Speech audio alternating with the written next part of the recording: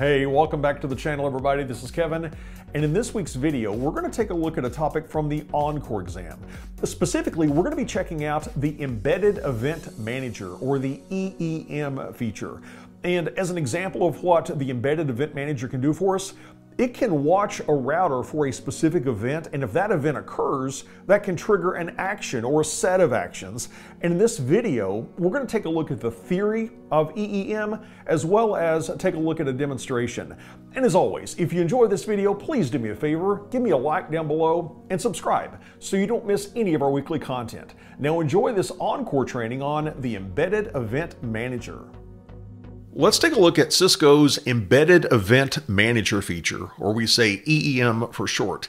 EEM, you can think of it sort of like an if then statement. If this event occurs, then do this, or then perform this set of actions. And that if then statement, if you want to think of it like that, makes up an EEM policy. And there are two main types of embedded event manager policies we have applets and scripts. Between the two, applets is the simpler one to configure, scripts, they're going to use a programming language called TCL or Tickle scripts. And that's a fairly simple programming language, but it's still something we would have to learn, and it's not specifically designed for EEM. So the good news is, on the ENCOR exam blueprint, Cisco tells us that we are only responsible for knowing how to use applets. And EEM is going to be using event detectors to determine when something noteworthy happens.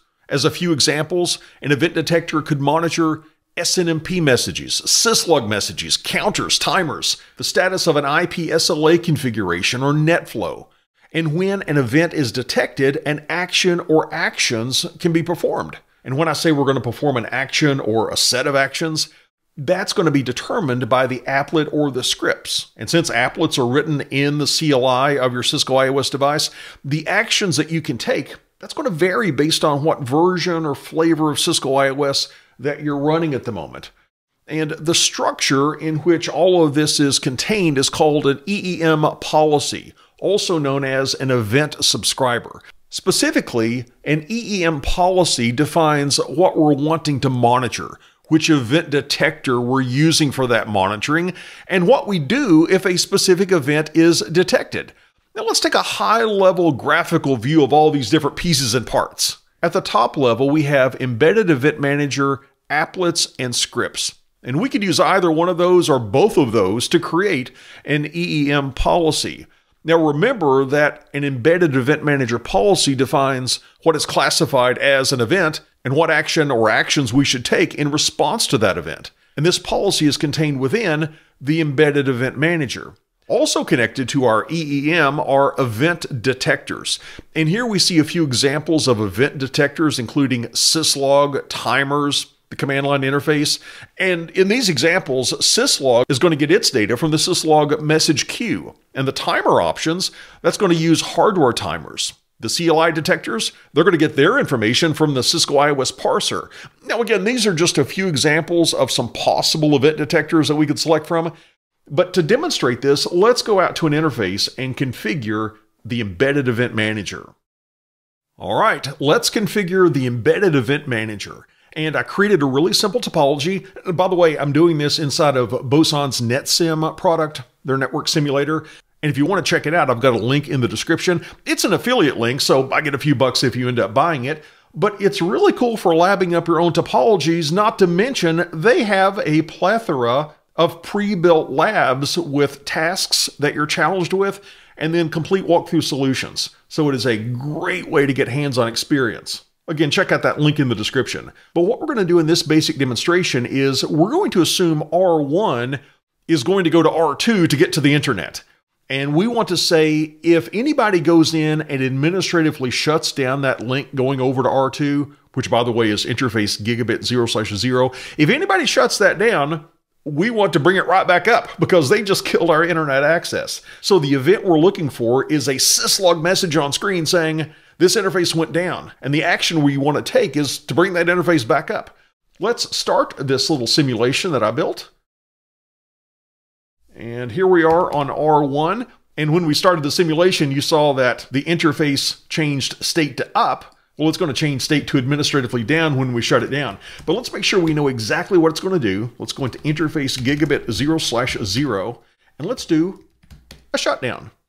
And we want to make a note of this. This is the syslog message that we're looking for. If that ever pops up in a syslog message, ding, ding, ding, that's going to be a match, and we're going to take an action in response to that event. Now let me bring this back up. I'll do a no shut to bring this back up. And now let's configure EEM.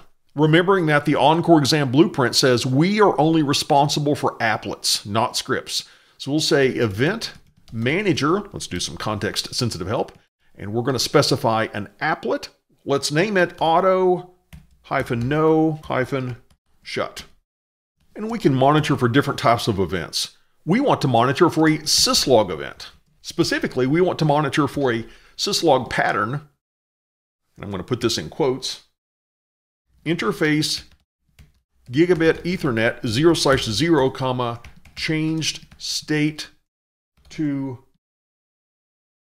administratively down Close quote. That's the event we're looking for. Now, what actions are we going to take in response to that event? And if we have multiple actions, we can number them so they're executed sequentially.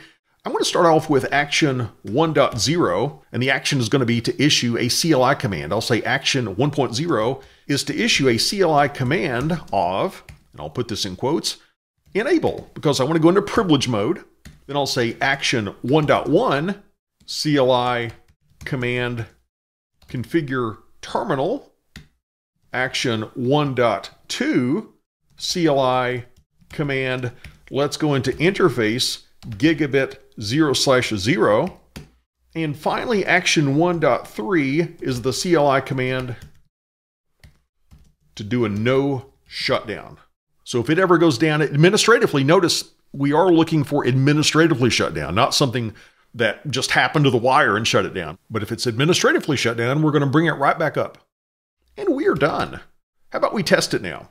To test it, let's go into interface gigabit 0 slash 0, and I'm going to do a shutdown. And when I do this, it should come up on screen and say interface gigabit ethernet 0 slash 0 changed state to administratively down. And that's going to be the syslog event that we're waiting for. When EEM sees that, it's going to say, ding, ding, ding, we've got a match. I need to execute these actions specified in this applet. Let's go into privilege mode. Let's go into global configuration mode, into interface gig 0 slash 0, and then we'll do a no shutdown. So let's see what happens. We press enter. Oh, look at that. Almost instantly, it goes down and then it comes right back up again. The reason it came back up was because of our embedded event manager applet. And I hope you enjoyed this look at a topic from the ENCOR exam blueprint. And Boson, they have an entire collection of ENCOR labs with specific tasks. So if you want to get some hands on experience, check out my affiliate link down below. I highly recommend it to get your hands on experience with your CCNA studies, your ENCOR studies, and your ENARSI studies. Again, link down below. Thanks for joining me. We'll see you next time.